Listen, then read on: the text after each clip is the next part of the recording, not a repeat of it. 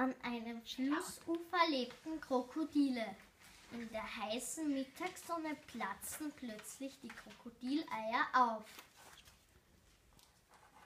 Krokodile. Kle- Kleine Krokodile krabbelten zum Fluss. Alle, bis auf Cornelius. Cornelius kam aufrecht aus seinem Ei spaziert.